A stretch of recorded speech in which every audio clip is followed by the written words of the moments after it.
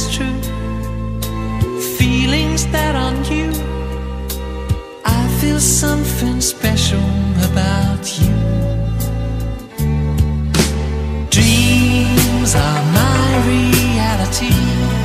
A wondrous world where I